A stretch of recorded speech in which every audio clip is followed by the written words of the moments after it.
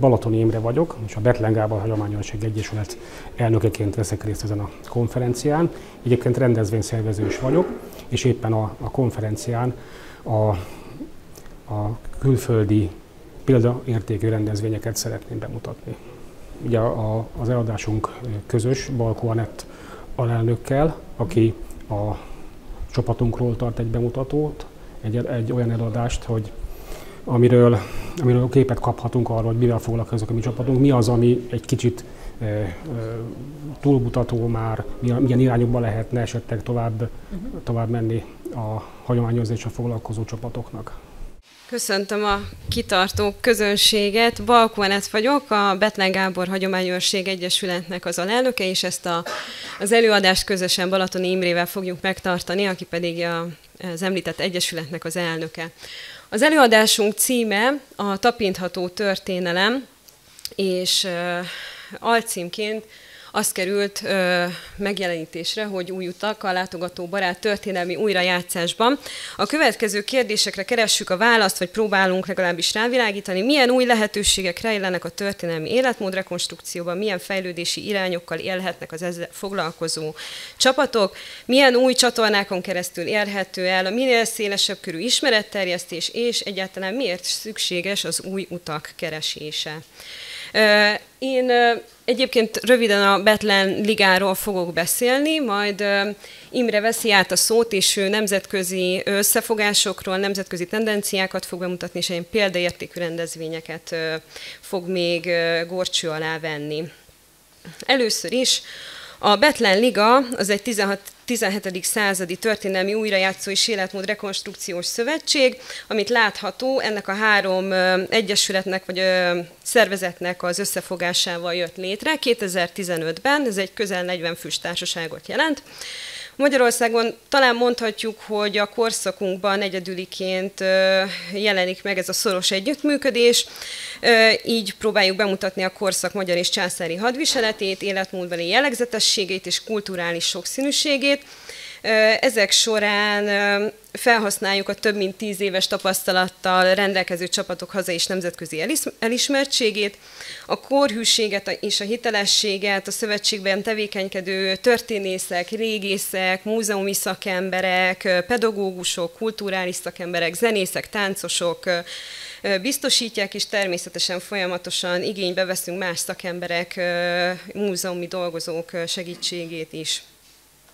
Célunk a színvonalas 16-17. századi történelmi újrajátszó csapatoknak az összefogása, ezáltal a korszak minél szélesebb körű bemutatása. Törekszünk arra, hogy az európai tapasztalatainkat itthon is megismertethessük, hasznosítva a történelmi életmód rekonstrukció és a mindennapi élet bemutatását val kapcsolatos tapasztalatainkat, és hogy ezek kellő hangsúlyt is kapjanak az itthoni rendezvényeken. Hasonlóan fontosnak tartjuk, hogy az eddigi működésünk során felhalmozott tudásunkat felelősség teljesen, és a lehető legtöbb csatornán adjuk át nem csak a közönségnek, hanem bárki másnak. Hogy mivel is foglalkozunk, nagyon sokrétű, amit csinálunk, igazából vannak ingyenes kiadványaink, amik megjelentek, például a Katonák Betlen Gábor korából című e-book, ami most már angol nyelven is olvasható. A tagjaink nagyon sokan vannak, akik például blogot vezetnek arról, hogy milyen tapasztalataik vannak például egy ruharekonstrukció, vagy akár egy korabeli étel elkészítése kapcsán. Próbálunk nem csak iskolai történelemórákat, vagy ilyen rendhagyó történelemórákat tartani, hanem másképp is kapcsolódni iskolai rendezvényekhez. Például történelmi vetélkedőkön segítünk be, kapcsolódunk múzeumi programokhoz, mi is részt veszünk, vagy részt vettünk már filmforgatáson.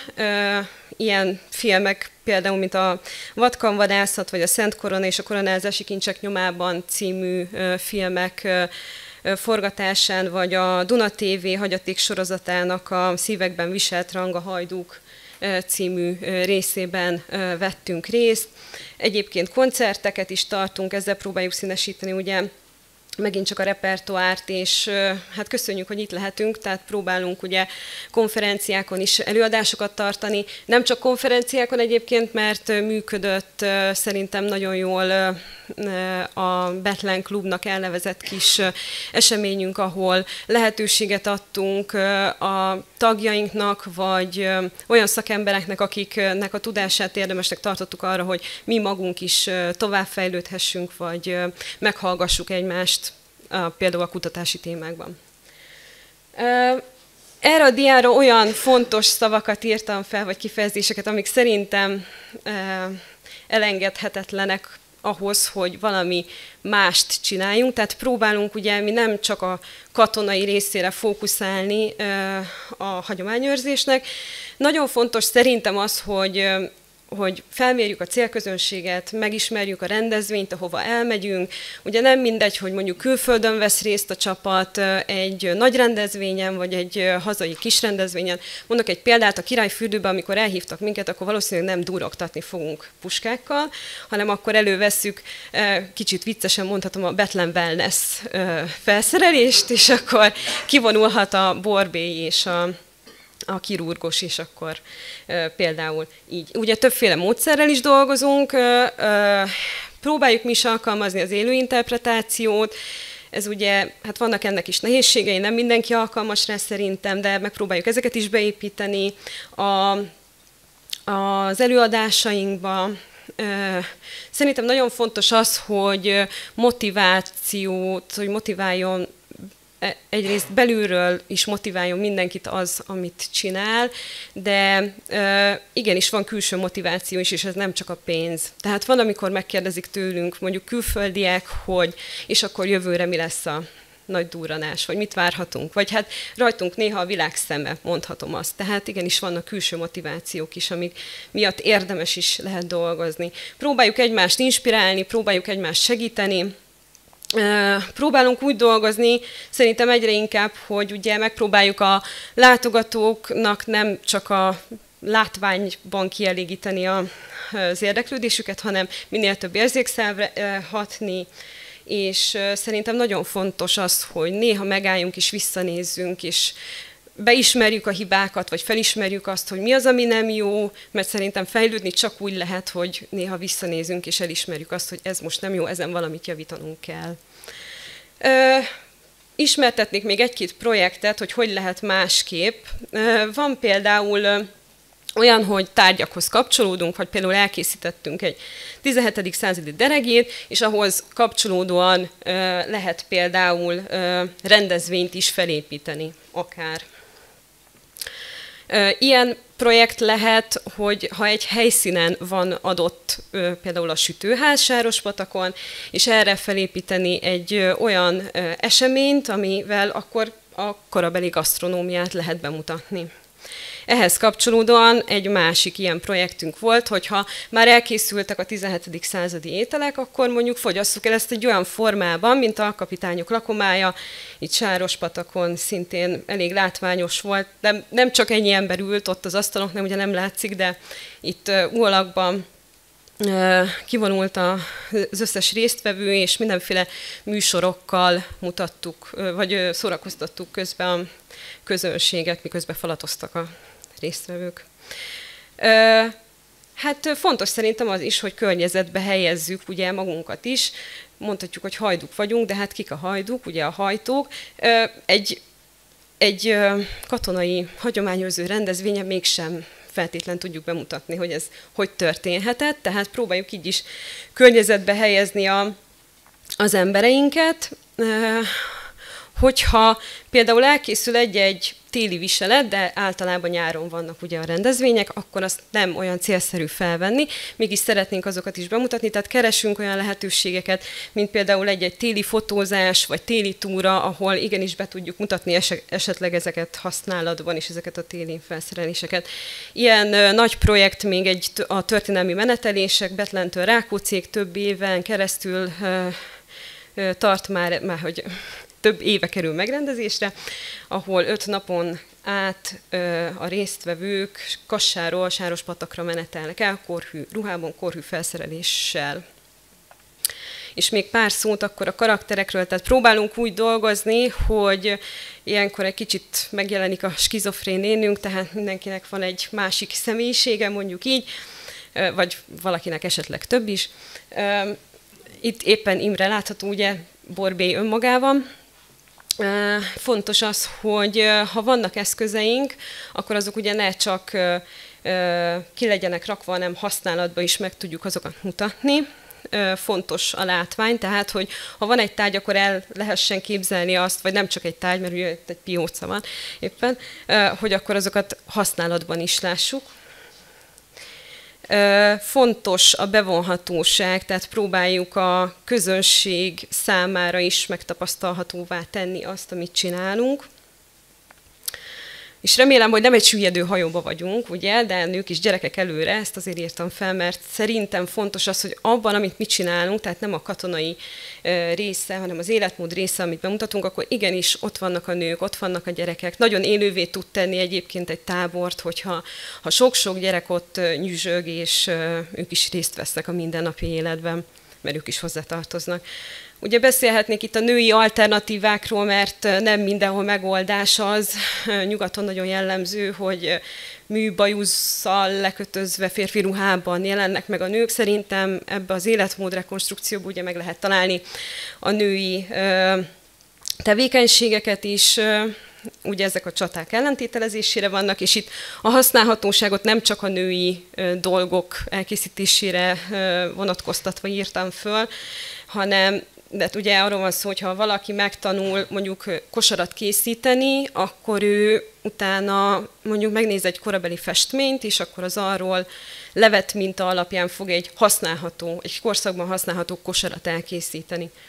Vagy például Lúcia, hogyha megtanul, nem tudom, szűni mm, egy passzományt, akkor nem feltétlen van meg hozzá az adott mintakönyv, hogy hogy kell azt megalkotni, de lenézi egy festményről, és akkor azt rekonstruálja, amit ugye fel tudunk használni egy ruhadarabon is. Hát itt még a férfiakról egy pár kép, ugye tudományok képviselői is megjelennek, van orvosdoktorunk, kirurgus, hadmérnök, fantasztikus felszereléssel, írnok, ezt azért tettem be ezt a diát, mert nem mindenki ilyen meghasonlott ember, vagy hát hogy mondjam, ilyen skizofrén, hogy valaki borbély lesz, vagy mm, mondjuk orvos is, amúgy nem orvos. Vannak olyan tagok is, akik ugye a mindennapi életből vett foglalkozásukat fejlesztik tovább, vagy annak néznek utána a 17. századi vonatkozásának. Ilyen például az ötvös, akivel együtt dolgozunk, vagy aki masszíroz, ugye ő fürdőben dolgozik, vagy fürdővel foglalkozik, és például a piócázást csak ezért tanulta meg, hogy itt tudja alkalmazni, vagy a cipészünk ilyen még. És ugye megpróbálunk a szórakozástól a vallásig lefedni szinte minden témát érintve, és itt átadnám a szót Imrének, mielőtt kifutunk az időből. Köszönöm szépen, Balaton Imre vagyok én nemzetközi összefogásokkal folytatnám. Ugye itt szó volt már a Magyarországi összefogásokról. Ezt azért tartjuk fontosnak, mert azt gondolom, hogy a magyar hagyományőrzés az még tartozik az e, fajta igen rendszerszerű nagy összefogásokkal. Tehát erre szeretnénk egy kicsit rávilágítani, hogy az mennyire fontos és mennyire működőképes tud lenni máshol. Három ö, ilyen ö, ö, egységet szeretnék bemutatni, ez az Altblau Regiment, ő egy cseh és szlovák csapatokból álló közel 200 fős, 15, fő, 15 csapatot összefogó szervezet. A másik az a Polish Regiment, nem túl fantáziadus, de hát azért elmond mindent róluk, tehát ők lengyelek, ők is hasonlóképpen működnek, és a, a Regimento Strassoldo, ők pedig olaszok, akik akik, ő az Altbaló regiment, tehát elég, elég nagy létszámban tudnak megjelenni, és ez látszik, hogy miért fontosak ezek. Tehát azért fontosak e, ezek az összefogások, mert egy, hogy mondjam, az élményközpontúság és a látványszerűség, ugye erről, erről ez a fő csapásvonalunk, azért, hogyha 150 muskétás vagy, vagy ugyanennyi pikás felsorakozik, azért annak van, van azért látványa, a következőkben pedig a példaértékű nemzetközi fesztiválokról ejtenék néhány szót. Az egyik ilyen fesztivál a Hollandiában látható, vagy nem akar tovább menni, igen. Tehát a gróllai rendezvény, a gróllai csata, ez a neve, és egyszerűen annyi a hívószavuk, hogy üdvözöljük Önöket 1627-ben. Ennyi. És ebben minden benne van. Mindaz, amiről eddig szó volt. Tehát az élmény központúság, tehát a, ez egy két évente megrendezendő fesztivál. Mi ötödszörre voltunk jelen idén, Körülbelül 1500 résztvevő vesz részt a, a, feszti, a csatán csak, a, a rendezvényen kb. 2500-on vannak, akik nem vesznek részt a csatarekonstrukcióban. 16 országból és 15 ezer, 25 ezer látogató vesz részt. Ez azért lényeges, mert maga a város az 10 ezer fős. Tehát tulajdonképpen ez csordultig megtelik 17. századdal ez a, ez a, ez a városka, és mindjárt megmutatjuk, hogy hogyan. A fesztivált mindig egy valamiféle elő, olyan előkészületek előzik meg, itt a jobb alsó sarokban látható egy, egy montás fénykép, amikor a város lakóinak workshopot rendeznek arról, hogyha ők eljön ennek a fesztiválnak a hétvégéje, akkor ők hogyan tudnak igazán hitelesen megjelenni ezen a fesztiválon. Ugyanis e- ekkor a város felbojdul, és megváltoztatja a maga képét. A modern hollandia kisváros beöltözik 17. századba. Itt ezeken a képeken, jobb alsó nem, de az összes többi, az a, a helyi lakosok hozták létre. Kitolják a kiskocsit, felszórják szalmával, ott a bal felső sarokban három hölgy azt is vállalta, hogy bordéházat üzemeltet, idézőjelben, de ott van. Ide még egy kicsit visszalépnék az előző képhez, tehát workshopot rendeznek nekik, és nem csak workshopot rendeznek, hanem itt a középső alsó képen pedig az látható, hogy ott a rendezvény al- alatt is meg lehet nézni ezeket a, a viseleteket, kérdezni lehet a készítőktől, és így tovább forrásokat adnak, könyveket mutatnak, hogyan, mit csináljan, hogy, hogyan induljon neki vala, vala, valaki neki a a fesztiválnak. A bal felső sarkon pedig az látható, hogy ezért ez egy egyedi, elég egyedülálló dolog. Ugye Magyarországon jó részt várostromok vannak, de hát ott pedig lövészárkokat ásnak éppen egy, egy, traktorral, vagy egy ilyen munkagéppel. A jobb felső sarkot, sarkos, sarkok képet pedig azért tettem föl, mert itt látható egy, egy ember, hogy a, a fesztiválnak a 1500 embert egy csatatéren mozgatni azért ez nem egy egyszerű feladat. Tehát ott azért egy, egy csata bemutatása az másfél órás, és ezt az 1500 embert mozgatni kell, nem össze-vissza rohangálva, mert azért az egyrészt veszélyes lehet, másrészt is sokkal látványosabb. Tehát ilyen, ilyen headsetes emberkék futkosnak körbe, úgy, ugye, ugye azt mondhatnánk, hogy futárok, akik a különböző parancsok, éppen itt is egy parancsot ad át a, a, a tisztnek, hogy éppen mit kell neki a következőkben tennie. És így nem fullad káoszba a rendezvény. Így, így az elképzelteket nagyon pontosan ö, ö, meg lehet valósítani. Igen, itt látható ö, jobbra lent egy, éppen egy, egy felser, ugye a, a harctéri orvos. Na, aztán itt is néhány kép, ugye az élményszerűséghez az is hozzátartozik, itt is látva itt, itt a megásott lövészárok éppen itt alkalmazásban, ami, amit úgy kell elképzelni, hogy a háromnapos rendezvény, három csata van, és a három csata, csatán éjszaka ezek a munkagépek átássák a, a lövészárkokat, mert ugye más, már ugye közelebb kerül a támadó félet, közelebb kerül, kell ásni a, a szerencsére ezt nem nekünk kell, úgyhogy ezt megteszik helyettünk. És középen van egy, egy, egy idézet, amit, amit a, a, egy holland ö, embertől hallottam, amikor fákjes felvonulásra indultunk, nem, bocsánat, visszamegyek, mert ez már nem az, azt, nincsen a fákás, mindegy. Ö, beálltunk a sorba, kerestük a helyünket, mert ugye ez a 1500, pontosabban akkor már talán 2000 ember is vonult a városban fákjákkal, beálltunk a sorba, hátrafordult egy, egy teljesen korrekt felszelésben ruhában lévő hölgy, és ránk néz, rám nézett, azt mondja, hogy mi normális emberek vagyunk, nem hagyományőrzők, mi menjünk oda előbb, előbbre. Hát ez csak ennyi, hogy... Igen. A következő fesztivál, ez pedig a Times and Epochs Moszkvában. Ugye azért van ez a kép itt, mert ugye nagyon fontos. Már most tudjuk, hogy mikor lesz ez a rendezvény. És ez nem fog változni. És sajnos nálunk ez nem is szokott lenni, mert ugye a megkereséseket is kapjuk, akkor egy-két hónappal a fesztiválok előtt akkor is megváltozik, utána még a, a, a, a, az, évsz, vagy a, az időpont. Ez egy e, úgynevezett multifesztivál, tehát itt a felsőképpen is látható, hogy, hogy nagyon sok korszakkal foglalkoznak, és pont ellentéte a Grollainek, ezért is ez a téma. Itt ezen részt vettünk idén ezen a fesztiválon, jövőre is szeretnének minket meghívni, és a, ez az alsó kép pedig a jövő évi fesztiválnak a, a képe, mert a jövő évben a 17. század lesz kiemelve, tehát a, erre fogják fölépíteni a fesztivált. E, szóval azért ellentéte, mert ugye ez egy nagy, 12 milliós nagyváros. Én sose tudtam, hogy 12 milliós nagyvárosba hogyan lehet fesztivált élményszerűen vég, vég, véghez vinni. Hát nekik sikerült, és ez rendezvényszervezői szempontból egy, egy csemege ez a fesztivál. Mindjárt meg is nézzük, hogy hogyan működik.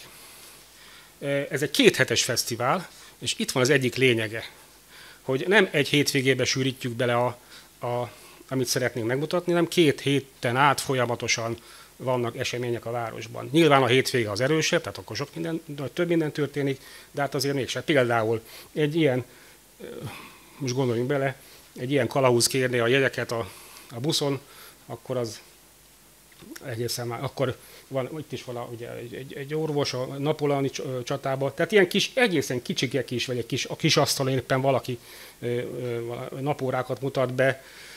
Ö, tehát meg lehet, meg lehet csinálni ezt is.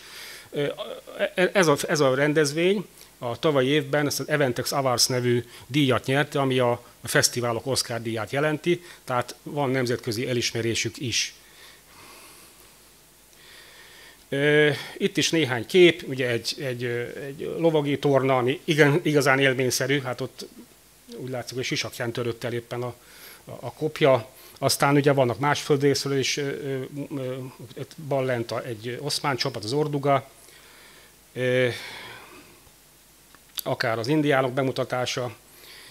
És ugye az, az inspirált minket, hogy hogy ezeket, ezek, ezek igazából nem, hogy mondjam, viszonylag egyszerűen megoldható dolgok. Ugye nyilvánvaló ez a, ez a Moszkvai Fesztivál is egy, egy, egy nagyon komoly rendszer, egy, egy, egy cég, nagyon sok emberrel, nagyon sok munka, munka van benne, de igenis megoldhatóak ezek, megoldhatóak az összefogások is, úgyhogy mi azt szeretnénk, hogyha a jövőkben a hazai vizeken is több ilyesmi megvalósulhatna, ahol sok csapat rendszerszerűen együttműködik. Tehát ez nagyon fontosnak tartjuk, hogy, hogy, hogy nem csak alkalomszerűen egy-egy hétvégén, hanem, hanem folyamatában egymást fejlesztve is, és segítve előre vihetjük a, a magyar hagyományozás. És köszönjük szépen a figyelmet!